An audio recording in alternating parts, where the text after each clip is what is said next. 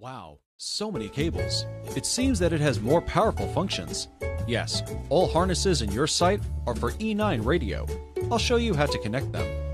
Find out the two wiring harness and connect the two plugs with the label of atmosphere lamp. Then, put them through the back of the metal bar in the center console from bottom to top.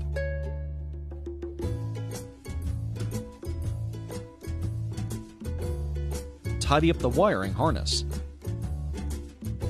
This blue plug will be connected to the factory USB port later.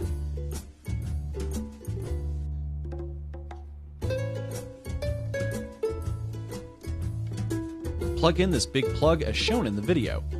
It powers the new radio and connects Android sound to the vehicle system.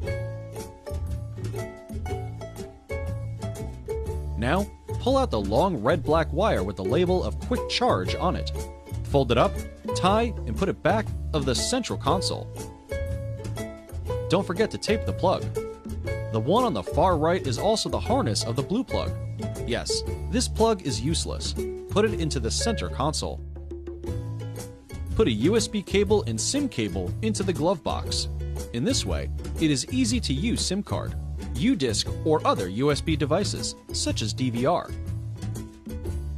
The wiring harness contains a red black wire and a 5 pin plug. Thread them from the inside of the central console to the bottom of the steering wheel. The 5 pin plug can be connected to a box to control the front parking radar and 7 color atmosphere lamp.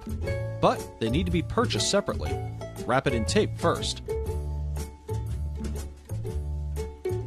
Connect the OBD plug to the red black wire plug it into the vehicle's OBD port. Hold the wiring harness so that it does not interfere with your pedaling.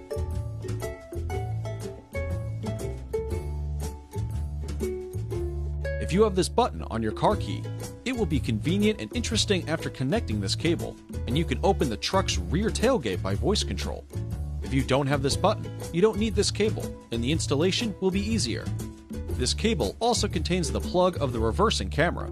If your vehicle has factory reversing camera or 360 degree camera, you can't use the yellow and red plug. Wrap them with adhesive tape. If your radio has a built in microphone, skip this step.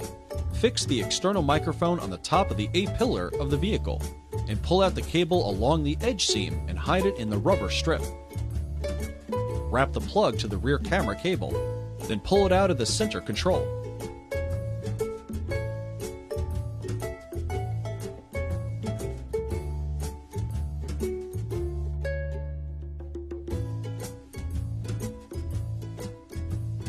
Insert it into the microphone jack and wrap it with tape.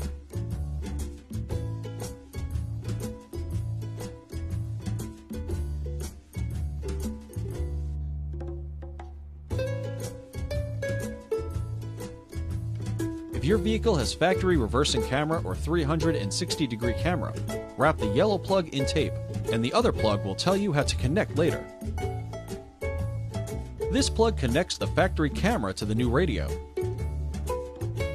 Do you have this button on your original panel? If not, then this harness is useless. If have, connect them one by one according to the video. Here are two identical 4 pin plugs. Find the same number of wires to plug in. Don't connect them wrong. There are labels on many wiring harnesses. Please connect the plugs with the same label.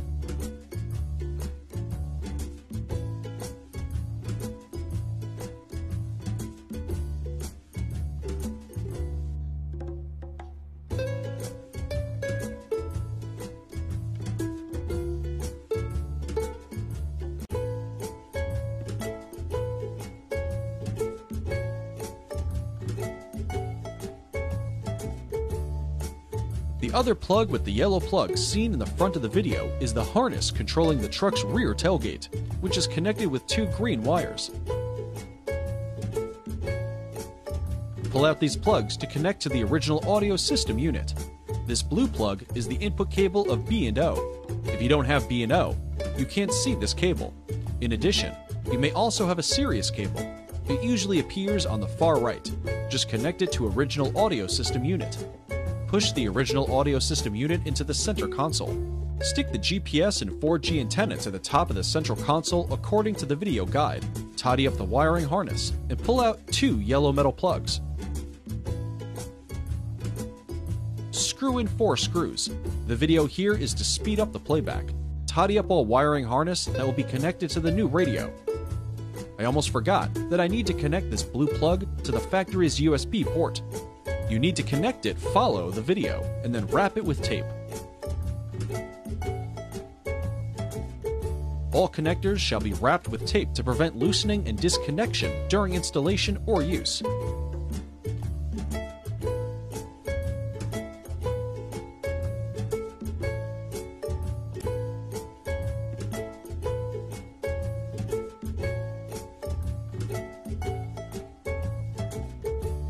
Take out the new radio unit with the air conditioning control board installed. If you don't install the air conditioning control board into the radio, please watch the previous video. Now follow the video steps to plug in all the plugs. Almost all of these plugs are designed to prevent wrong insertion, but GPS and 4G need to be connected to the radio by label.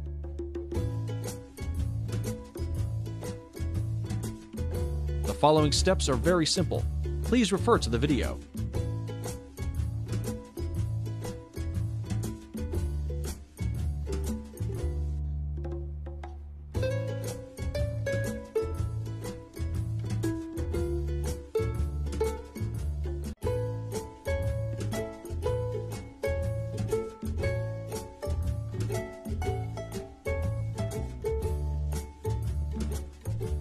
If you have any questions, please contact us through the following ways.